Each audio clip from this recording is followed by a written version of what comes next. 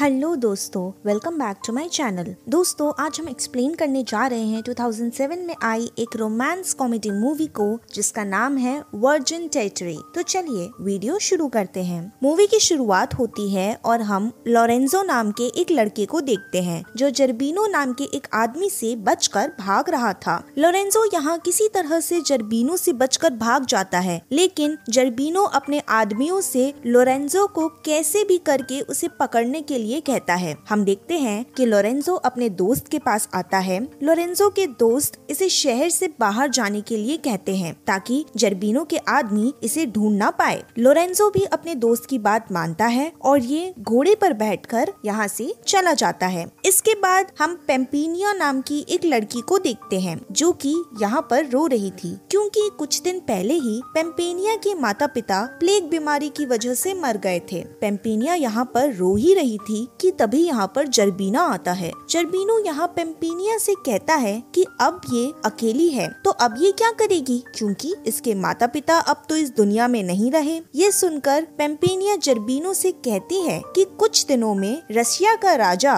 जर्जेस्की यहाँ पर आने वाला है और ये उससे ही अपनी शादी करेगी। ये कहकर पेम्पेनिया यहाँ से जाने लगती है कि तभी जर्बीनो इससे कहता है कि तुम्हारे फादर ने मुझसे ढेर सारे पैसे लिए थे। इसलिए उनके मरने के बाद उनकी सारी दौलत मेरी हो गई है। चरबीनो पेम्पेनिया से कहता है कि तुम्हारे पास केवल ये घर बचा है और अगर तुम इस घर को अपने पास में रखना चाहती हो तो तुम्हें मेरे साथ में शादी करनी पड़ेगी। इसके बाद हम लोरेंजो को देखते हैं, जिसके पीछे जर्बीनो के आदमी पड़े थे। लोरेंजो यहाँ एक आदमी से मिलता है, जो कि एक डेड बॉडी को लेकर यहाँ से जा रहा था। लोरेंजो इस आदमी से उस मरे हुए आदमी के बारे में पूछता है। तब ये आदमी लोरेंजो को बताता है कि ये एक गुंगा बहरा आदमी था, जो कि पास के चर्च में ही माली का काम करता था। लेकिन आज इसकी अचानक से मौत हो गई। ये सुनकर लोरेंजो यहाँ से चला जाता है। लोरेंजो जर्बीनो के आदमियों से बचने के लिए एक पेड़ पर चढ़ जाता है। जर्बीनो के आदमी जब यहाँ से आगे चले जाते हैं, तब लोरेंजो पेड़ से उतर रहा था कि तभी पेड़ की डाली टूटने की वजह से लोरेंजो ज़मीन पर पर गिर जाता है और यहीं पर बेहोश हो जाता है।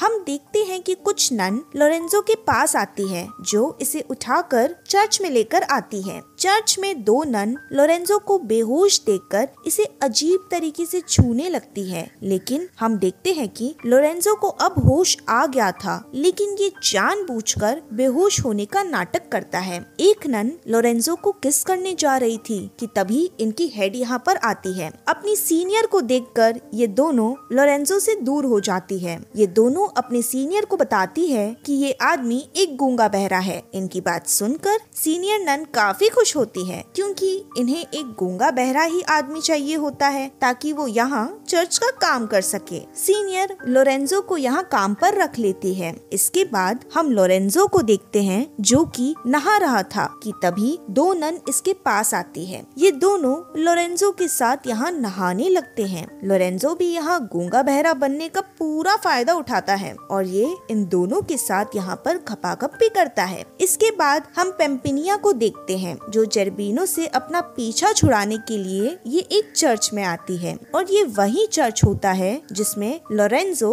गूँगा बहरा बनकर काम कर रहा था। दो नन जब पेम्पिनिया को कपड़े पहना रही थी, तब पेम्पिनिया यहाँ लोरेंजो को देखती है। पेम्पिनिया इनसे लोरेंजो के बारे में पूछती है, तब ये नन इसे बताती है कि वो यहाँ का माली है जो चर्च की देखभाल करता है। लेकिन अफसोस की बात ये है कि वो एक गूँगा बहरा है, जिसकी वजह से वो सुन और बोल नहीं सकता। कुछ समय बाद लोरेंजो को एक नन बुलाती है। इसलिए लोरेंजो उस नन के साथ झाड़ियों में जाता है। लोरेंजो उस नन के साथ झाड़ियों में खपागप करने लगता है। लोरेंजो खपागप कर ही रहा था कि तभी पेम्पेनिया यहाँ पर आ जाती है, जो ये सब देख लेती है। ये देख पेम्पेनिया को काफ़ी जलन महसूस होती है, क्योंकि ये खुद लोरेंजो को पसंद करने लगी थी। इसके बाद हम रशिया के राजा जर्जेस्की को देखते हैं, जो कि पेम्पेनिया के के राजमहल में आता है। लेकिन जर्बीनो जर्जेस्की से कहता है कि पेम्पेनिया ने भागकर अपनी शादी कर ली है। ये सुनकर जर्जेस्की को काफ़ी बुरा लगता है और ये यहाँ से अपने शहर के लिए निकल जाता है।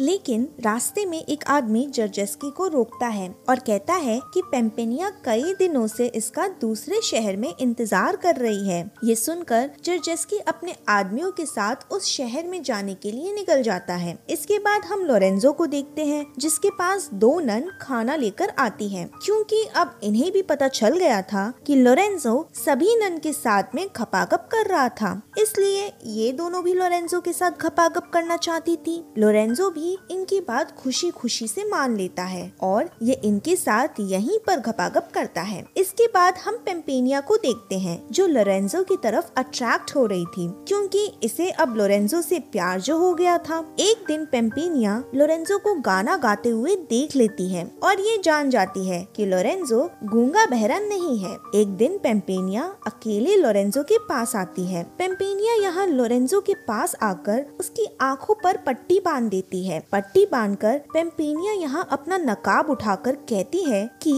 ये इससे प्यार करती है और इसकी वजह से ये इसके साथ शादी भी करना चाहती है। पेम्पेनिया यहाँ लोरेंजो को एक किस करके चली जाती है। ये किस लोरेंजो को काफ़ी अच्छा लगता है, लेकिन उसकी आँखों पर पट्टी बंदी थी। इसलिए वो देख नहीं पाता कि ये लड़की आखिर थी कौन। अगले दिन पेम्पेनिया अपनी सीनियर को बता देती है कि इनके यहाँ जो माली काम कर रहा है, वो गोंगा बहरा नहीं, बल्कि वो सुन और बोल सकता है। दरअसल पेम्पेनिया यहाँ सीनियर को सच इसलिए बताती है ताकि लोरेंजो अब किसी के साथ घपागप ना करे। इस बात से सीनियर लोरेंजो के ऊपर काफ़ी गुस्सा होती है, इसलिए ये लोरेंजो को लात मारकर चर्च से बाहर निकाल देती है। हम देखते हैं कि पेम्पेनिया अपने राजमहल में वापस जा रही थी, कि तभी लोरेंजो इसे अपने साथ लेकर चलने के लिए कहता है। अब पेम्पेनिया तो पहले से ही लोरेंजो को पसंद करती थी, इसलिए ये लोरेंजो को अपने साथ अपने घर पर लेकर आती है। इसके बाद हम जर्जेस्की को देखते हैं, जो कि पेम्पेनिया को ढूंढ रहा था। जर्जेस्की यहाँ एक लड़की को देखता है। ये लड़की जर्जेस्की को देखते ही उसके ऊपर लट्टू होने लगती है। जर्जेस्की इससे पूछता है कि क्या तुम पेम्पेनिया को जानती हो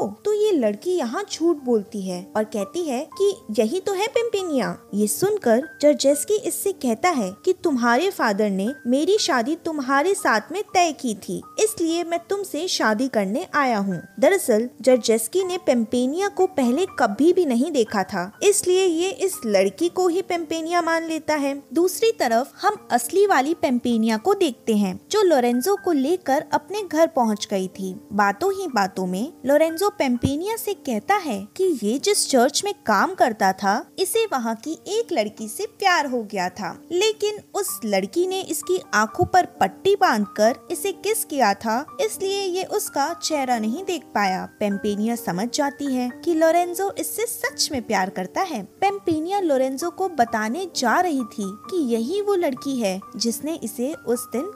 किस किया था? पेम्पिनिया यहाँ पर कुछ बताती कि उससे पहले ही यहाँ पर जर्बीनो आ जाता है। जर्बीनो जब यहाँ लोरेंजो को देखता है, तब ये इस पर काफ़ी गुस्सा होता है। जर्बीनो यहाँ लोरेंजो के साथ लड़ने लगता है। जर्बीनो लोरेंजो को मारने ही वाला था कि तभी यहाँ पर पेम्पिनिया आती है और ये जर्बीनो से कहती है कि अगर इसने लोरेंजो को मारा तो ये इससे कभी भी शादी नहीं करेगी। ये सुनकर जर्बीनो लोरेंजो को नहीं मारता।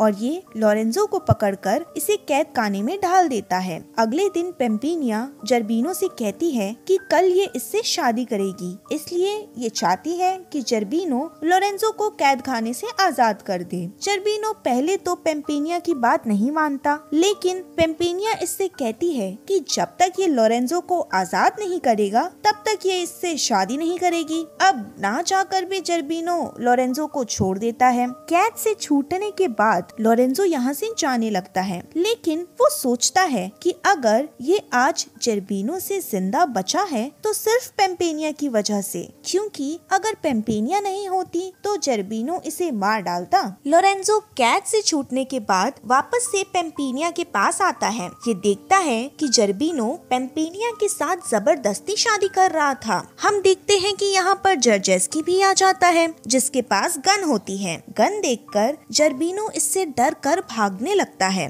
अब लोरेंजो भी यहाँ पर आ चुका था। इसलिए ये जर्बीनो के आदमियों से लड़ने लगता है। जर्जेस्की और लोरेंजो जर्बीनो के कई सारे आदमियों को मार देते हैं। आखिरी में जर्जेस्की जर्बीनो से लड़ता है और ये इसे भी मार देता है। अब पेम्पेनिया यहाँ पर आती है, जो जर्जेस्की से कहती है कि वो इससे शादी नहीं कर सकती, क्योंकि ये लोरेंजो से प्यार करती है। जर्जेस्की जब पेम्पेनिया का चेहरा देखता है तब वो कहता है कि तुम पेम्पेनिया नहीं हो, क्योंकि मैंने उसे देखा है। तभी यहाँ पर वो दूसरी लड़की आती है जो जर्जेस्की को झील पर मिली थी। ये लड़की पेम्पेनिया की फ्रेंड मालिशा होती है। मालिशा को देखकर जर्जेस्की कहता है कि मैं तो इससे ही शादी करूँगा। हम देखते हैं पेम्पेनिया लोरेंजो के पास आती है और इसे अपने साथ शादी के लिए कहती है। लेकिन लोरेंजो कहता है, ये इससे शादी नहीं कर सकता, क्योंकि ये किसी और से प्यार करता है। ये सुनकर पेम्पेनिया कहती है कि ठीक है,